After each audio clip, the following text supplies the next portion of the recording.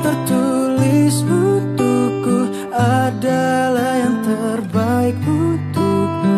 Kan ku jadikan kau kenangan yang terindah dalam hidupku. Namun takkan mudah bagiku meninggalkan jejak hidup